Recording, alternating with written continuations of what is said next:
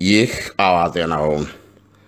ዋና መቀመጫው አዲስ አበባ የሆነውና ህትመቱ በጥቂት የአፍሪቃ ሀገራት ጭምር የሚሰራጨው አዲስ ስታንዳርድ የእንግሊዝኛ ቋንቋ ጋዜጣ ባለፈው ቅዳሜ ነሐሴ 28 ጠዋት በቅሊንጦ እስር ቤት ስለደረሰው ሁኔታ በጣም የሚረብሽ ዘገባ ይዞ ወጥቷል።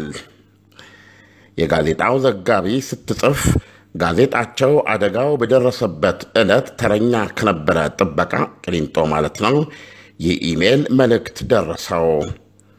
እስር ቤቱ በእሳት በተያያዘ ጊዜ ደንግጠውና ደንብረው እሳቱን ለማጥፋት በተራወጡ እስረኞች ላይ የታጠቁ የእስር ቤቱ ጠባቂዎች ማን ከማን ሳይለዩ ጥይት አርከፈከፉባቸው ይላል የኢሜል መልእክቱ። ስሙ እንዳይገለጽ የፈለገውና ለማስተማመኛም የሥራ መታወቂያውን አያይዞ የላከው የአይን ምስክር እንደጻፈው የሕግ ታራሚዎቹ እሳቱ ክፉኛ እየበላው ወደ ነበረው የእስር ቤቱ ደቡባዊ ጫፍ እንዳይጠጉ በመሳሪያ አፈሙዝ ታግደው ነበረ። በመጀመሪያዎቹ ሀያ ደቂቃዎች ብቻ አምስት ያህል እስረኞች ከሁለት ማማዎች ላይ በተተኮሰባቸው ጥይት ተመተው ሲወድቁ አይቻለው ብለዋል በመልእክቱም። እኔን ጨምሮ መሳሪያ ያልታጠቅን ጠባቂዎች በሩ ላይ የነበሩትንና ገና ሊመጡ የሚችሉትን የእስረኛ ቤተሰቦችን ከበር እንድንመልሳቸው በወህኒ ቤት አስተዳደሩ ትዕዛዝ ተሰጠን ብለዋል የአይን ምስክሩም።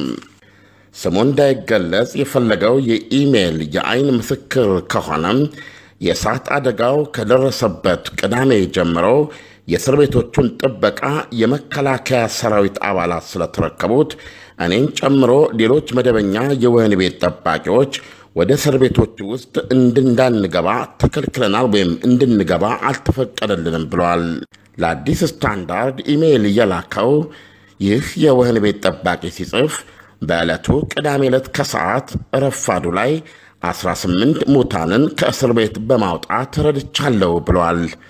እኔ እስካየሁት ድረስ አለ ሲቀጥል ከ18ቱ ሙታን መካከል አንዳቸውም እንኳ በሳት አልተበሉም፣ ሁሉም በጥይት የሞቱ ናቸው ብሏል። አዲስ ስታንዳርድ ይዞ የወጣው ዘገባ ለመንግሥት ቅርብ የሆነው ሬዲዮ ፋና በዛሬው ዕለት የመንግሥት ኮሚኒኬሽን ጽሕፈት ቤትን መግለጫ ጠቅሶ ካወጣው ዘገባ በእጅጉ የተለየ ነው።